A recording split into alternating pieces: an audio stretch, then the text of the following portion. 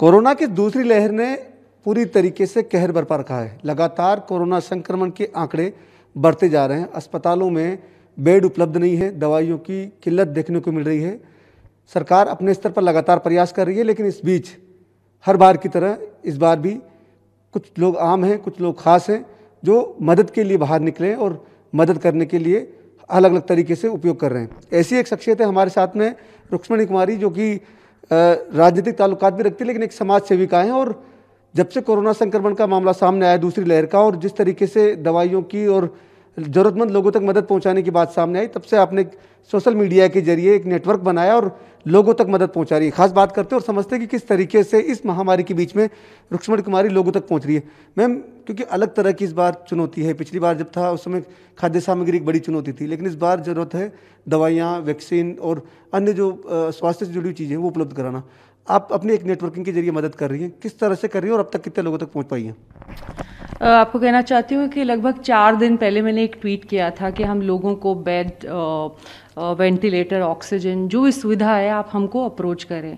तो वहीं से शुरू हुआ ये पूरा थिंग और लोगों ने हमें डायरेक्ट मैसेज करना शुरू किया।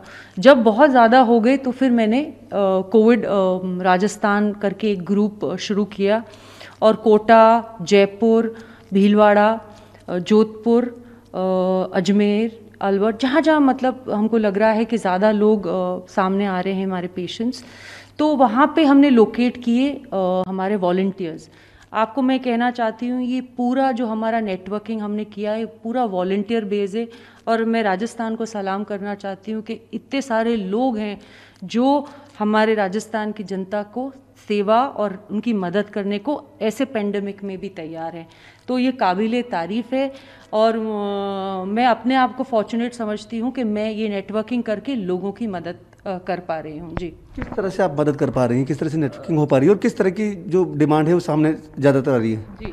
तो इनिशियली तो आपको पता है कि इंजेक्शन्स दवाइयाँ और बेड्स और आईसीयूज की रिक्वायरमेंट शुरू हुई। तो इस उस समय हमने आ, सबसे पहला काम किया कि आ, लोकल एन से टाइप करा और अधिकारियों की भी मदद ली। और वहाँ के प्रसिद्ध लोग हैं जो भी इन्फ्लुएंसर्स मानती हूँ जैसे मैं अगर उदयपुर की बात करूँ तो दो तीन ऐसे बड़े इन्फ्लुएंस थे उनसे मैंने बात करी।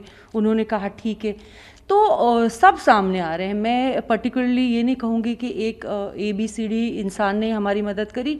सब सामने आ रहे हैं। एन अधिकारी, राजस्थान सरकार, यूथ कांग्रेस, सभी। मैं तो कह रही हूँ, इस समय किसी भी तरह का कोई पार्टीबाजी नहीं हो रही और लोग बाग आगे होके हमारे राजस्थान की जनता को बचाने के लिए काम कर रहे हैं। जी।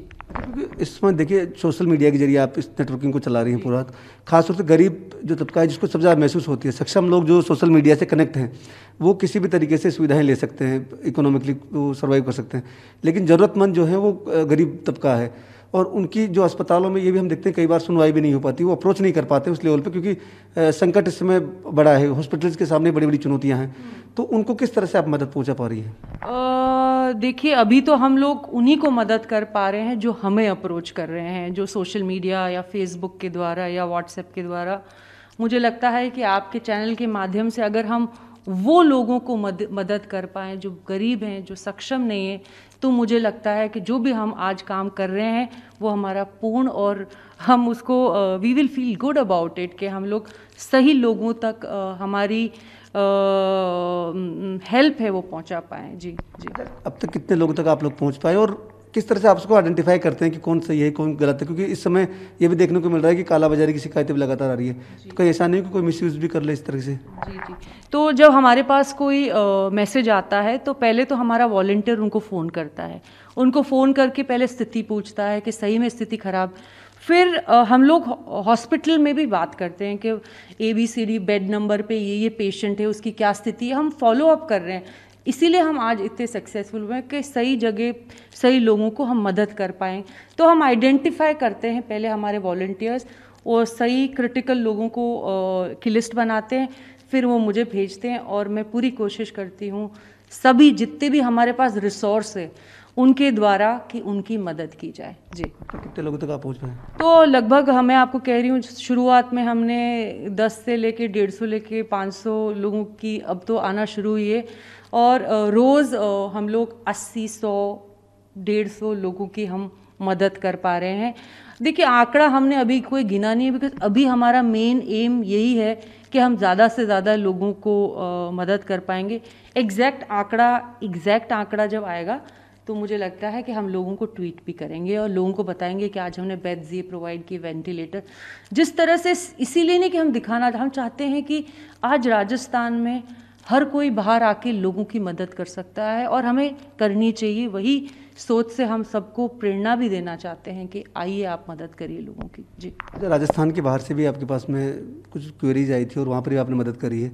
राजनीति से उठकर भी लोगों ने सरकारों ने चाहे बीजेपी चाहे कांग्रेस उन्होंने एक दूसरे की मदद भी करी। जी। आ, मेरे को ऐसा लग रहा है कि परसों शायद मैंने एक ट्वीट किया था नागपुर में एक पेशेंट था जिसको हॉस्पिटल में बेड की रिक्वायरमेंट थी और मैंने ट्वीट करके आदित्य ठाकरे और प्रफुल्ल पटेल और सुप्रिया सुलिया जी को और यूथ कांग्रेस को, इन सबको टैग किया। मैं आपको कहना चाहती हूँ कि लगभग कुछ ही मिनटों में सबके फ़ोन आए मेरे पास, वहाँ गए और उन लोगों को बेड प्रोवाइड किए। तो ये काबिल तारीफ़ है, सोशल मीडिया एक बहुत बड़ा टूल है और हम हमारे देश को सभी जगह हम वी कैन सेव पीपल आपने राजनीति से उठ के बात करी तो अभी कल ही